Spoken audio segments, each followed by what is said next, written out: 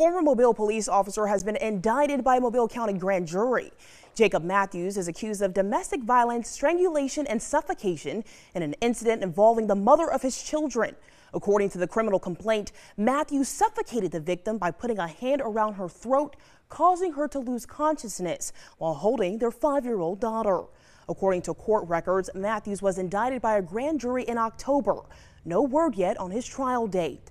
Matthews resigned from the Mobile Police Department back in March. Now, we reached out to the mother of Matthews' children, the victim listed in the case, and she provided News 5 a statement that says in part, quote, I am very grateful to see this headed in the right direction. I'm also hurt for my children at the same time. We are nowhere close to this being over, but I'm determined to see it through to the end.